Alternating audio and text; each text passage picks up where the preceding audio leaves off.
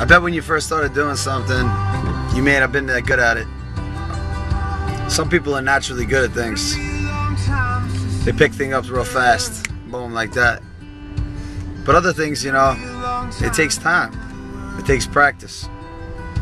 You don't just get on the basketball court and all of a sudden you're Michael Jordan. But I think we all have ego inside of us.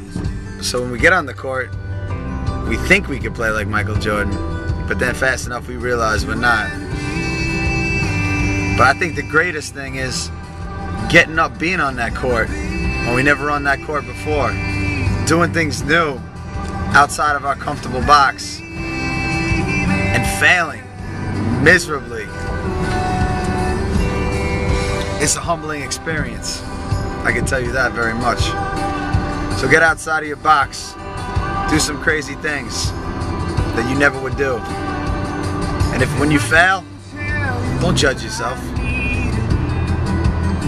I was doing some new things this last couple weeks, and uh, I wasn't failing that bad, but I wasn't uh, ultimately succeeding, according to the teacher.